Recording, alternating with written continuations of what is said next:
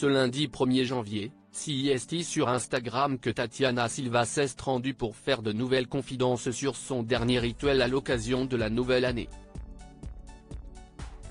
Un discours inattendu en lien avec son physique. La nouvelle année est une opportunité d'envisager de nouvelles résolutions pour de nombreuses personnes. Pour d'autres, si est un moyen de faire la synthèse des mois passés et laisser derrière eux les épreuves qui leur ont mené la vie dure. Tatiana Silva en fait partie. Particulièrement proche de ses abonnés sur les réseaux sociaux, la célèbre représentatrice météo a présenté son rituel du nouvel an pour repartir du bon pied.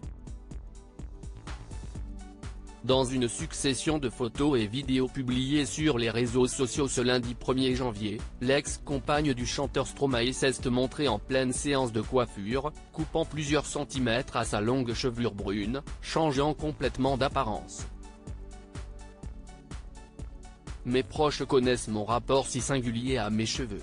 Durant 20 ans je les ai entretenus avec amour et gratitude.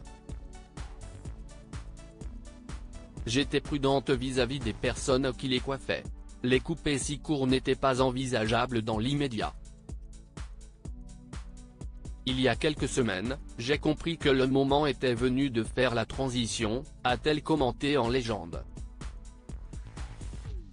Tatiana Silva a brûlé volontairement ses cheveux dans une autre vidéo, Tatiana Silva montre qu'elle a brûlé sa chevelure coupée.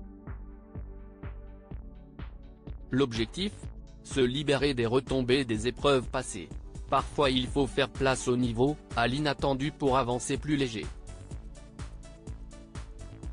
Jusqu'au bout je les ai honorés.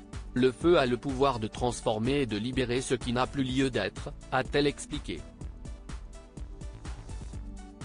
Un rituel essentiel à son bien-être qui n'a pas manqué de faire réagir sa communauté.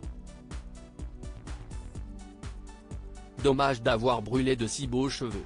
Vous aviez sans doute vos raisons mais il aurait été possible de faire un don pour qu'ils soient utilisés dans la confection de perruques pour les malades atteints du cancer, peut-on lire en commentaire.